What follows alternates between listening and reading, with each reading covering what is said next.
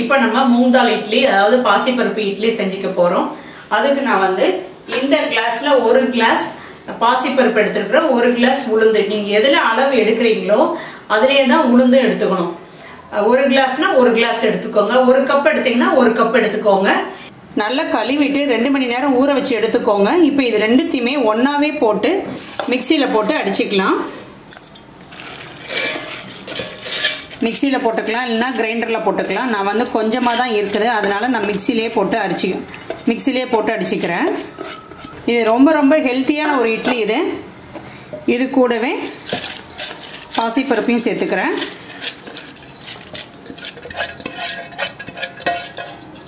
கொஞ்சம் கூட இருக்குதுல்ல?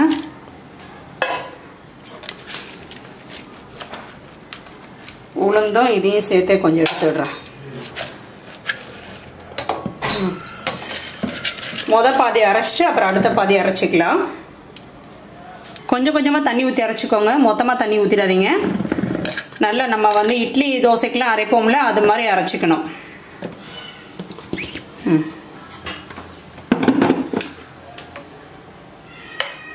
இப்போ மாவு அரைச்சிட்டேன்.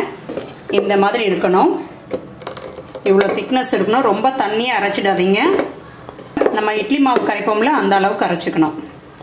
இப்போ இது கூட உப்பு போட்டுட்டு நல்லா மிக்ஸ் பண்ணிவிடுங்க இப்போ இதை மிக்ஸ் பண்ணி வச்சுக்கோங்க. எயிட் ஹவர்ஸ் நல்லா புளிக்கட்டும் புளிச்சதுக்கப்புறம் நம்ம எடுத்து இட்லி ஊற்றலாம் இப்போ அப்படியே ஊற்ற முடியாது. நம்ம அப்படியே மூடி வச்சிடலாம். நல்லா மிக்ஸ் பண்ணிவிடுங்க மிக்ஸ் பண்ணிட்டு வச்சுருங்க நாளைக்கு காலையில் பார்க்கலாம். மாவு எப்படி இருக்குதுன்னு பார்க்கலாம். மாவு பாருங்க நல்லா புளிச்சு வந்திருக்குது. ரொம்ப புளிக்க விட்டுறாதீங்க. ஒரு மாதிரி வாடை வந்துடும் இப்போ இதை நல்லா மிக்ஸ் பண்ணிக்கோங்க. கேக்கு மாதிரி இருந்துச்சுல்ல? நல்லா க்ரீமாக இருக்குது பாருங்கள் பச்சை மிளகாய் பட்டாணி கேரட் இதெல்லாம் எடுத்து வச்சுருக்கிறேன். இதெல்லாம் நம்ம தாளித்து இதில் கொட்டிக்கலாம். நல்லாயிருக்கும் இன்னொரு எக்ஸ்ட்ரா ஃப்ளேவர் இருக்கும். இப்போ எண்ணெய் காஞ்சிடுச்சு இதில் கடுகு உளுந்தம்பருப்பு. கடுகு உளுந்தம்பருப்பு கொஞ்சம் கூட சேர்த்துக்கோங்க. நல்லாயிருக்கும் இப்போ இது கூட இஞ்சி வந்து துருவி வச்சுருக்கிறேன் அதை சேர்த்துக்கிறேன். துருவி சேர்த்துக்கோங்க அப்போ தான் வாயில் கிடைக்காது. இது கூட ஒரு ஸ்பூன் கடலைப்பருப்பு. இதையும் வதக்கிக்கோங்க. கடலைப்பருப்பு வந்து நல்லா பொரியணும். இது கூடவே கருவேப்பிலையும் சேர்த்துக்கிறேன். கருவேப்பிலை வந்து நல்லா கிள்ளி சேர்த்துக்கோங்க. பொடி பொடியாக கட் பண்ணி சேர்த்துக்கோங்க. இப்போ இது கூட பச்சை மிளகாய் ரெண்டு பச்சை மிளகாய் நல்லா பொடியாக கட் பண்ணியிருக்கிறேன் அதையும் சேர்த்துக்கிறேன்.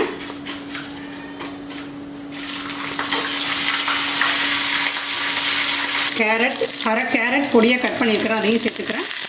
கேரட்லாம் லேசாக போட்டு வதக்கிட்டு சேர்த்துக்கோங்க போதும். ஏன்னா வந்து நம்ம வேக வைக்கிற போது வெந்துடும். அவ்வளோதான் ஆஃப் பண்ணிக்கலாம். இப்போ இதை நம்ம மாவு கூட சேர்த்துக்கலாம். இப்போ இதை மாவு கூட கலந்துக்கிறேன்.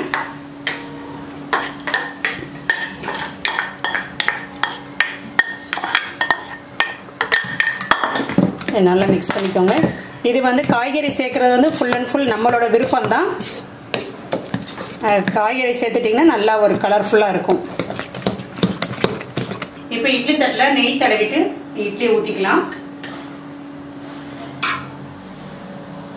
இல்லை நீங்கள் துணி ஊற்றி வைக்கிறதா இருந்தாலும் பரவாயில்ல ஊற்றிக்கோங்க நெய் ஊற்றினா நல்லா வாசமாக இருக்கும்.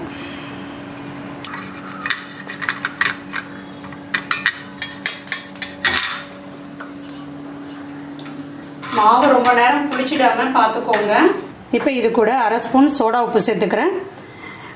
நீங்கள் இதுக்கு பதிலாக வந்து ஈனோ கூட சேர்த்துக்கலாம். ஈனோ ஃப்ரூட் சால்ட் சேர்த்துக்கோங்க இல்லைனா வந்து சோடா உப்பு சேர்த்துக்கோங்க. இது ரெண்டும் நீங்கள் சேர்க்காம செஞ்சீங்கன்னா இட்லி வந்து கண்டிப்பாக கல் மாதிரி தான் இருக்கும். அதனால ஏதாவது ஒன்று சேர்த்துக்கோங்க. இப்போ இட்லி ஊற்றிக்கலாம்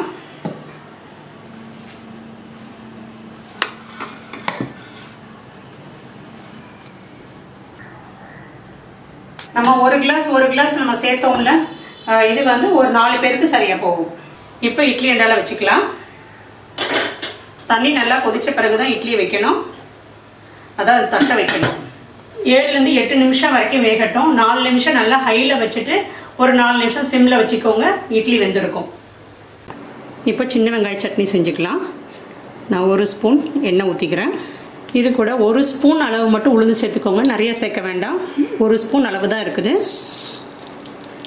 சட்னி வந்து கொஞ்சம் திக்னஸ் கொடுக்கும். அதுக்காக வந்து உளுந்து சேர்த்துக்கிறேன். உளுந்து வந்து நல்லா பொரிஞ்சு வரணும். அதாவது ப்ரௌன் கலரில் வரணும். லைட் ப்ரௌன் கலரில் வரணும். அந்த அளவுக்கு வறுத்துக்கோங்க. உளுந்து இந்த அளவுக்கு வறுத்துக்கோங்க. இது கூட கால் கிலோ சின்ன வெங்காயம் சேர்த்துக்கிறேன்.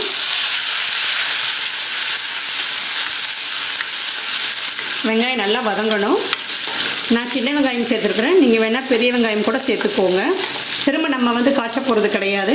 அப்படியே தாளித்து கொட்ட போகிறோம் அவ்வளோதான் அதனால் வந்து வெங்காயம் நல்லா வதங்கிக்கணும். கொஞ்சம் கலர் மாறட்டும். கலர் மாறின பிறகு நம்ம தக்காளி சேர்த்துக்கலாம். இந்த அளவுக்கு வெங்காயம் கலர் மாறணும். இப்போ நம்ம வந்து தக்காளியெல்லாம் சேர்த்துக்கலாம். நான் மூணு தக்காளி கட் பண்ணி வச்சுருக்கிறேன். அதை சேர்த்துக்கிறேன். நாலு பூண்டு. மிளகா வத்தல் காரத்துக்கு உங்களுக்கு எவ்வளோ வேணுமோ அதுக்கு ஏற்ற மாதிரி சேர்த்துக்கோங்க. நாலு நான் மிளகா வத்தல் நாலு மிளகா வத்தல் சேர்த்துக்கிறேன். மூணு காஷ்மீர் சில்லி கொஞ்சமாக புளி. கொஞ்சம் உப்பு சேர்த்துக்கிறேன். ஒரு அரை ஸ்பூன் உப்பு சேர்த்துக்கிறேன் இப்போது அப்புறம் அரைக்கும் போது பார்த்துட்டு சேர்த்துக்கலாம். தக்காளிலாம் நல்லா மசிஞ்சு வரணும். அது வரைக்கும் நல்லா வதக்கிக்கணும். மூடி வச்சுக்கிறேன். வேகட்டும். சிம்லேயே வச்சுடுங்க. அது பாட்டுக்கு வேகும். வெங்காயம் நல்லா வதங்கிடுச்சு பார்த்தீங்களா? தக்காளி நல்லா வதங்கிடுச்சு. இப்போ இதை ஆஃப் பண்ணிக்கிறேன். ஆறட்டும் ஆறுனதுக்கப்புறம் நம்ம அரைச்சிக்கலாம். அரைச்சிட்டு தாளிச்சிக்க வேண்டியதுதான். இப்போ நம்ம வந்து அந்த கார சட்னியையும் அப்புறம் தேங்காய் சட்னி அரைச்சிக்கலாம். இப்போ இட்லி வெந்துருச்சான்னு பார்க்கலாம். இந்த மாதிரி கத்தியில் தண்ணியை தொட்டுட்டு ஒட்டாமல் வருது பார்த்தீங்களா இப்படி வரணும். இப்படி வந்துருச்சுன்னா வெந்துருத்து வெந்துருச்சுன்னு அர்த்தம். இப்போ இதை ஆஃப் பண்ணிக்கிறேன். எடுத்துக்கலாம். ஒரு ஒரு நிமிஷம் ஆற விட்டுட்டு எடுங்க. இல்லைன்னா எடுக்கிறதுக்கு வராது. அதே மாதிரி தான் ஸ்பூனில் வந்து தண்ணியை தொட்டுட்டு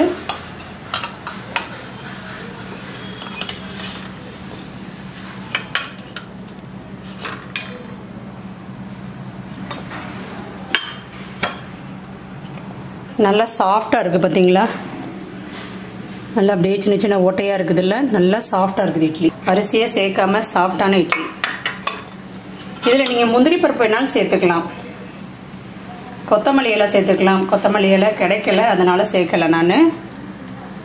இப்போ நமக்கு பாசிப்பருப்பு இட்லி ரெடி வச்சு பார்க்கலாம் எப்படி இருக்குன்னு பார்க்கலாம். சூடாக இருக்குது. பாருங்கள் எவ்வளோ சாஃப்டாக இருக்குதுன்னு பாருங்கள் அப்படியே பஞ்சு மாதிரி வருது பாருங்கள் நல்லா வெந்துருச்சு நல்லா சாஃப்டாக இருக்குது. இதுக்கு கார சட்னியும் தேங்காய் சட்னியும் நான் வச்சுருக்கிறேன். கார சட்னிக்கு தாளித்து ஊற்றிட்டேன் அதான் வெங்காய சட்னிக்கு தாளித்து கொட்டியாச்சு தேங்காய் சட்னி வச்சுருக்கிறேன். அவ்வளோதான் இது வந்து எல்லாருக்குமே நம்ம வந்து கொடுக்கலாம். சின்ன குழந்தைங்களுக்கு கூட கொடுக்கலாம். அதனால தைரியமாக நீங்கள் கொடுங்க. பாசிப்பருப்பு இட்லி நீங்களும் செஞ்சு பாருங்கள் ரொம்ப ரொம்ப ஹெல்த்தியான ஒரு டிஷ் இது. செஞ்சு பார்த்துட்டு கமெண்ட்ஸாக சொல்லுங்கள் எப்படி இருந்துச்சுன்னு. இந்த ரெசிபி உங்களுக்கு பிடிச்சிருந்துச்சுன்னா என்னோட ஹேமாஸ் கிச்சன் சேனலை சப்ஸ்கிரைப் பண்ணிக்கோங்க.